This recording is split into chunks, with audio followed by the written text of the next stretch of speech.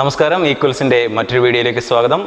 നമ്മൾ ഇന്ന് ഇവിടെ ചർച്ച ചെയ്യാൻ പോകുന്നത് P S C R R B S S C തുടങ്ങി നിരവധി പരീക്ഷകളിൽ സ്ഥിരമായി ചോദിക്കുന്ന ക്ലോക്കിൽ നിന്നുള്ള ചോദ്യമാണ് നമ്മൾ ഇന്ന് ഉൾപ്പെടുത്തിയിരിക്കുന്നത്. അപ്പോൾ പതിവ് പോലെ തന്നെ നമ്മൾ ബേസിക് ആയിട്ടുള്ള കാര്യങ്ങളൊക്കെ നമ്മൾ സ്കിപ്പ് ചെയ്തിരിക്കുകയാണ്. ഡയറക്റ്റ് ക്വസ്റ്റ്യനുകളിലേക്കാണ് നമ്മൾ പോകുന്നത്. അപ്പോൾ ആദ്യത്തെ ചോദ്യത്തിലേക്ക് നമുക്ക് കിടക്കാം. ചോദ്യം ഇതാണ് ക്ലോക്കിൽ ആറ് ഇരുപത് എന്ന സമയം കാണിക്കുമ്പോൾ മണിക്കൂർ സൂചിയും മിനിറ്റ് സൂചിയും തമ്മിലുള്ള കോണളവ് എന്തായിരിക്കും എന്നാണ്. അപ്പോൾ ഈ ചോദ്യം ഞാൻ പറഞ്ഞപ്പോൾ തന്നെ നിങ്ങളുടെ മനസ്സിൽ ഒരു ഇക്വേഷനൊക്കെ വന്നിട്ടുണ്ടാവും. Thirteen H minus eleven by two by M എന്നൊക്കെയുള്ള ഇക്വേഷൻ നമ്മൾ ആ ഇക്വേഷൻ ഒന്നും ഉപയോഗിക്കാതെ വളരെ സിമ്പിളായിട്ട് ഈ പ്രോബ്ലം എങ്ങനെയാണ് ചെയ്യുന്നതെന്നാണ് നമുക്ക് നോക്കാൻ പോകുന്നത്. നമുക്കത് എങ്ങനെ ചെയ്യുന്നതെന്ന് നോക്കാം. അപ്പോൾ നമ്മുടെ ചോദ്യം ഇതായിരുന്നു. ആറ് ഇരുപത് എന്ന് സമയം കാണിക്കുമ്പോൾ മണിക്കൂർ സൂചിയും മിനിറ്റ് സൂചിയും തമ്മിലുള്ള കോൺ അളവ് എന്തായിരുന്നു എന്നായിരുന്നു ചോദ്യം. നമുക്കിത് വളരെ സിമ്പിളായിട്ട് എങ്ങനെ ചെയ്യാൻ നോക്കാം. അപ്പോൾ നിങ്ങൾ മനസ്സിൽ ഓർക്കേണ്ട കാര്യം ആറ് ഇരുപത് എന്ന് വരുമ്പോൾ മണിക്കൂർ സൂചി സൂചി ഏകദേശം ആറിനടുത്ത് തന്നെയാണ്. മിനിറ്റ് സൂചി വരുന്നത് ഇരുപത് എന്ന സമയം കാണിക്കുമ്പോൾ മിനിറ്റ് സൂചി വരുന്നത് എത്രയിലായിരിക്കും? നാലിലായിരിക്കും അല്ലേ? അപ്പോൾ നമ്മൾ നാല് എന്ന് എഴുതുന്നു. ആറ് മൈനസ് നാല്. ഈ കിട്ടിയ ഉത്തരത്തിനെ നമ്മൾ മുപ്പത് കൊണ്ട് ഗുണിക്കുന്നു. പ്ലസ് ഈ ഇരുപതിന്റെ ഈ മിനിറ്റിന്റെ പകുതിയായ ഇരുപതിന്റെ പകുതിയായ പത്ത്. അപ്പോൾ ആറ് നാല് പോയ രണ്ട് രണ്ട് ഇന്റ് മുപ്പത് പ്ലസ് പത്ത്. അപ്പോൾ അറുപത് പ്ലസ് പത്ത് എഴുപത് ഡിഗ്രി എന്ന് എഴുപത് ഡിഗ്രി എന്ന് ഉത്തരം കിട്ടും. അപ്പോൾ ഇത് വളരെ സിമ്പിളാണ്.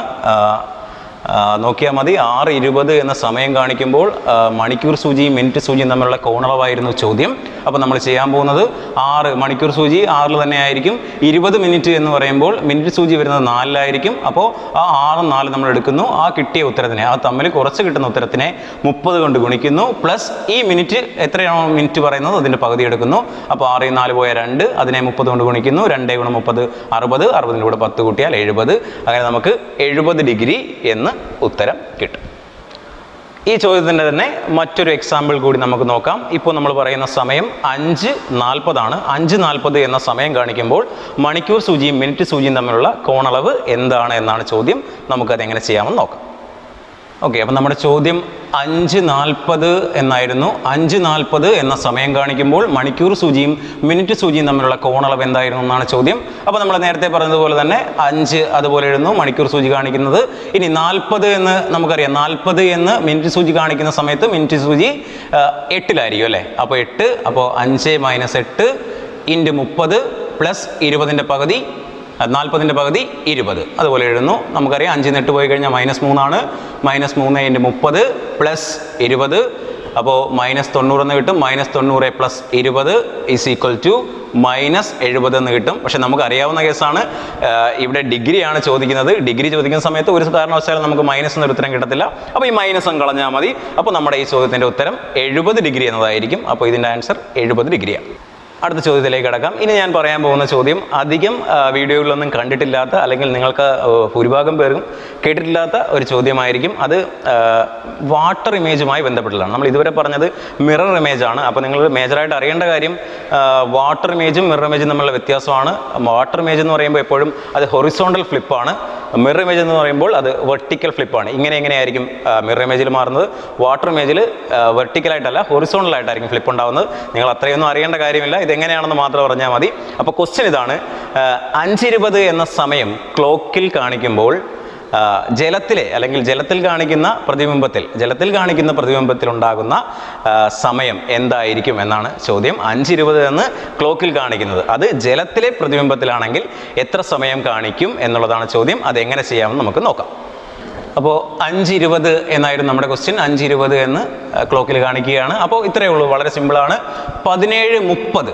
നേരത്തെ നമ്മൾ പതിനൊന്ന് അറുപതും ഇരുപത്തി മൂന്ന് അറുപതും പറഞ്ഞതുപോലെ തന്നെയാണ്. പതിനേഴ് മുപ്പതിൽ നിന്ന് അല്ലെങ്കിൽ പതിനേഴ് തൊണ്ണൂറിൽ നിന്ന്. ഇത് എപ്പോഴാണെന്ന് നമുക്ക് പറയാം. ഉം, പതിനേഴ് മുപ്പത് ഉപയോഗിക്കേണ്ടത് ഇവിടെ നോക്കി ഇരുപത് മിനിറ്റ് ആണല്ലേ അപ്പോൾ ഈ കോണിൽ വ്യത്യാസം വരുമ്പോൾ ഇപ്പോൾ ഇപ്പോൾ ഇരുപത് മിനിറ്റ് ആണ് പറയുന്നത് മുപ്പത്. അപ്പോൾ അങ്ങനെ വരുമ്പോൾ മുപ്പത് ഉപയോഗിക്കണം. പതിനേഴ് മുപ്പത് ഉപയോഗിക്കണം. ഇനി പകരം ഈ മുപ്പതിലേക്ക് മുപ്പതിനേക്കാൾ കൂടിയ ഒരു മിനിറ്റ് ആണ് ഇവിടെ പറയുന്നതെങ്കിൽ ഇവിടെ നാൽപ്പതോ അൻപതോ അറുപതൊക്കെ വരുമ്പോൾ പതിനേഴ് തൊണ്ണൂറിൽ നിന്ന് കുറയ്ക്കാൻ ശ്രമിക്കണം. നമുക്കത് ഒരു പ്രോബ്ലം ചെയ്യുമ്പോൾ മനസ്സിലാവും. അപ്പോൾ ഇവിടെ അഞ്ച് ഇരുപതാണ്. നമ്മൾ പതിനേഴ് മുപ്പതിൽ നിന്ന് അഞ്ച് ഇരുപത് കുറയ്ക്കുകയാണ്. അഞ്ച് ഇരുപത് കുറയ്ക്കുമ്പോൾ കിട്ടുന്നത് പത്ത്.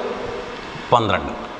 അപ്പോൾ പന്ത്രണ്ട് പത്ത് എന്നൊരു ഉത്തരം കിട്ടും. പക്ഷേ ഇതിനൊരു പ്രശ്നമുണ്ട്. പ്രശ്നം എന്താണെന്ന് ചോദിച്ചു കഴിഞ്ഞാൽ ഈ ക്വസ്റ്റ്യൻ എപ്പോഴും രണ്ട് ഉത്തരങ്ങൾ ഉണ്ടാകും എന്നുള്ളതാണ്. ഇതിന്റെ യഥാർത്ഥ ഉത്തരം എപ്പോഴും പന്ത്രണ്ട് പത്ത് തന്നെ എന്ന് തന്നെയാണ്. പക്ഷേ എസ് എസ് സി അല്ലെങ്കിൽ പി ആർ ആർ ബി പോലെയുള്ള ക്വസ്റ്റ്യനുകൾ ഞാൻ പലപ്പോഴും ശ്രദ്ധിച്ചിട്ടുണ്ട്. ഇതിന് ഒരു ഉത്തരം കൂടിയുണ്ട്. പന്ത്രണ്ട് പത്തിനോട് ഒരു മണിക്കൂറോടെ കൂട്ടി ഒന്ന് പത്ത് എന്നൊരു ഉത്തരം കൂടി ഇതിനുണ്ട് നിങ്ങൾ അത് പന്ത്രണ്ട് പത്ത് എന്നൊരു ആൻസർ കാണുന്നില്ലെങ്കിൽ ഒന്ന് പത്ത് ഉണ്ടോ എന്ന് നോക്കുക. അങ്ങനെയാണെങ്കിൽ അത് നിങ്ങൾ തിരഞ്ഞെടുക്കുക. പക്ഷേ എപ്പോഴും ബെറ്റർ ആൻസർ ഏറ്റവും നല്ല ആൻസർ പന്ത്രണ്ട് പത്താണ്.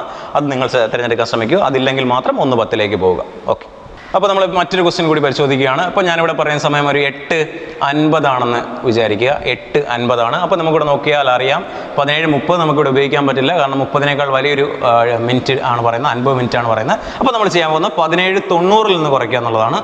പതിനേഴ് തൊണ്ണൂറ് മൈനസ് എട്ട് അൻപത്. അപ്പോൾ നാൽപ്പത് ഒൻപത്. ഒൻപത് നാൽപ്പത് എന്നൊരു ഉത്തരമാണ് കിട്ടുന്നത്. അപ്പോൾ എട്ട് അൻപത് എന്ന് ക്ലോക്കിൽ കാണിക്കുന്നത് അത് ജലത്തിലെ പ്രതിബിംബത്തിൽ കാണിക്കുന്ന സമയം ഒൻപത് നാൽപ്പത് എന്നായിരിക്കും. പക്ഷെ ഞാൻ നേരത്തെ പറഞ്ഞിട്ടുണ്ട് ഒൻപത് നാൽപ്പത് അല്ല ഒരു ഉത്തരം കൂടി കാണും. അത് പത്ത് നാൽപ്പത് എന്നാണ്. എപ്പോഴും ഇതാണ് ഏറ്റവും നല്ല ഉത്തരം. ഒൻപത് നാൽപ്പത് എന്നത് പത്ത് നാൽപ്പത് എന്നത് ഒരു ഒരു ഉത്തരം കൂടിയുണ്ട് നിങ്ങൾ മനസ്സിലാക്കിയാൽ മതി. അപ്പോൾ ഇങ്ങനെയാണ് ഇത്തരത്തിലുള്ള പ്രോബ്ലങ്ങൾ ചെയ്യുന്നത്. ക്ലോക്കുമായി ബന്ധപ്പെട്ടുള്ള ചോദ്യങ്ങൾ ഏറെക്കുറെ ഇവിടെ അവസാനിച്ചിരിക്കുകയാണ്. ഇതുമായിട്ട് കുറച്ച് ടോപ്പിക് കൂടി ബാലൻസ് ഉണ്ട്. അത് നമ്മൾ അടുത്ത വീഡിയോയിൽ ഉൾപ്പെടുത്തുന്നതായിരിക്കും. ഈ ടോപ്പിക്കുമായി ബന്ധപ്പെട്ടുള്ള സംശയങ്ങൾ നിങ്ങൾ താഴെ കമന്റ് ബോക്സിൽ രേഖപ്പെടുത്തുക. സംശയങ്ങൾ മാത്രമല്ല നിങ്ങളുടെ അഭിപ്രായങ്ങൾ കൂടി ദയവ് ചെയ്ത് കമന്റ് ബോക്സിൽ രേഖപ്പെടുത്തുക. ഇതുവരെയും ഞങ്ങളുടെ ചാനൽ സബ്സ്ക്രൈബ് ചെയ്യാത്തവർ ചാനൽ സബ്സ്ക്രൈബ് ചെയ്യുക. വീഡിയോ ഇഷ്ടമായെങ്കിൽ ലൈക്ക് ചെയ്യുക ഷെയർ ചെയ്യുക. താങ്ക്